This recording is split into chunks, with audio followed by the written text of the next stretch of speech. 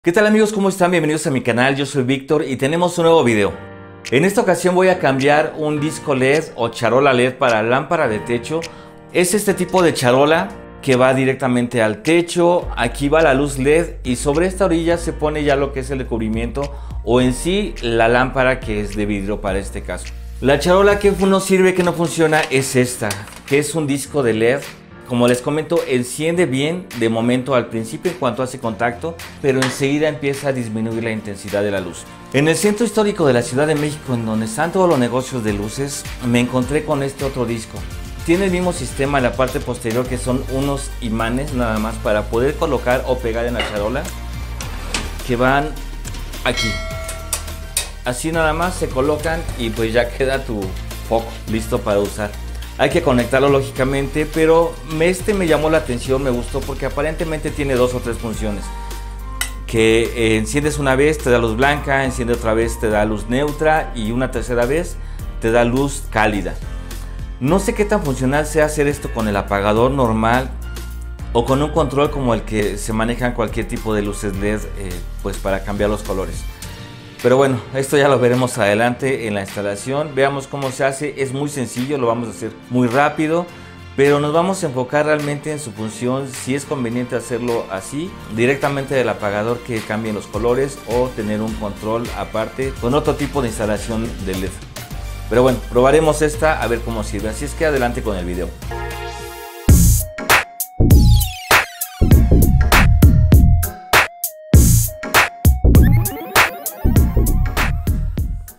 Bueno, vamos a hacer esto rápido y sin escalas. Así es que vamos a darle prisa para ya probarlo en la lámpara en el techo, ¿va?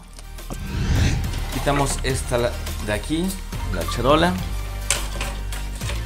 Entonces vamos a traer este.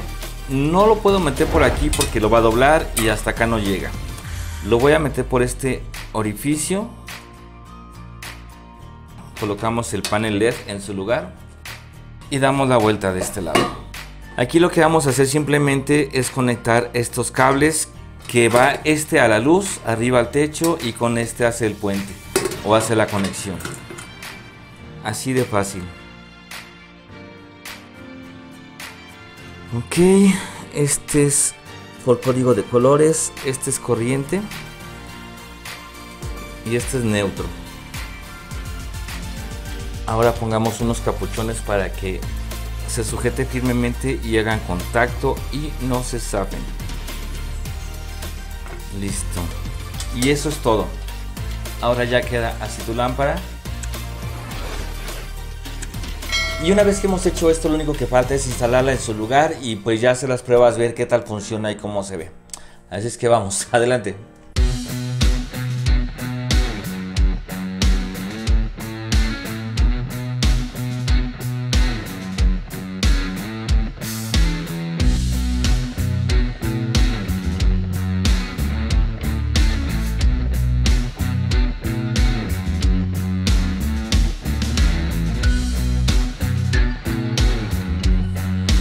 Bueno, se supone que esta lámpara, esta luz LED que compramos, va a cambiar de tono eh, cada vez que encendamos la luz. Es decir, la encendemos la primera vez y nos va a dar un tono.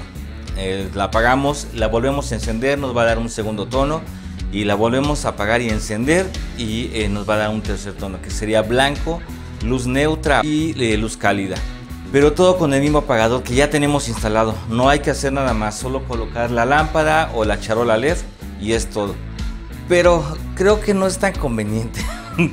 La verdad es que no me agradó tanto. Les voy a explicar por qué, ustedes mismos.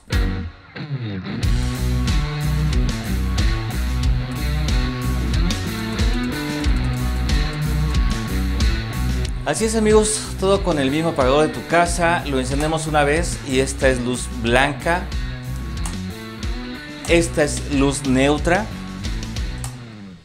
y una vez más, y esta es luz cálida, lo que da una bombilla de foco normal de las incandescentes anteriormente, que bueno, pues esas ya no se hacen o ya no las manejan.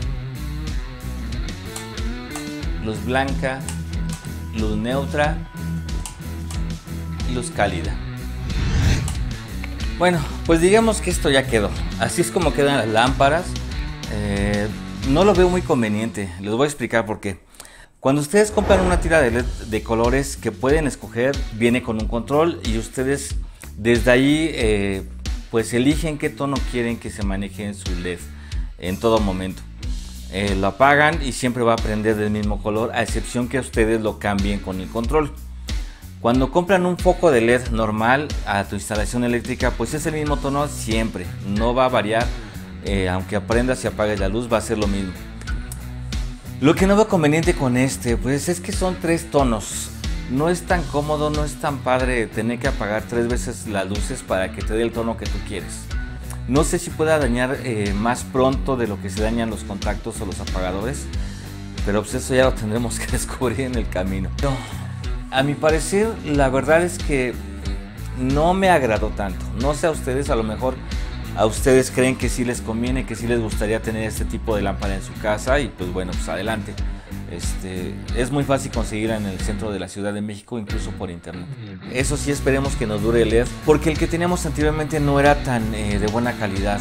En esta ocasión, este que compré, donde quiera que entraba a cada tienda me decían que era muy bueno, que duraba más, precisamente por los tonos que te da de color, que era mejor LED. No sé qué tan cierto sea, entonces lo vamos a estar probando, vamos a ver cuánto nos dura.